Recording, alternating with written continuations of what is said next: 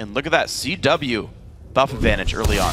Yeah, they're going to be able to get themselves a free buff start here because of the side and the, fa the fact that they didn't actually go straight from blue to red and they didn't mirror it exactly on H2K's side. So Trashy, he's going to have to find a different move to make here. He's not going to get a red buff out of this. I think it might be awarded to a dragon.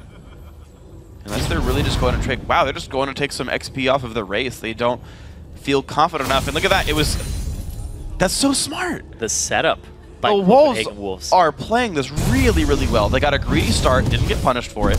They knew that they lost control of bottom jungles. They counter jungled their own jungle on purpose to deny Trashy.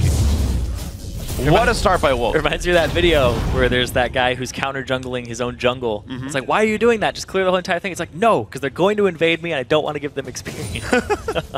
well, in this case... It's a next level strat, though. I mean, it's the right choice. That was awesome by Wolves.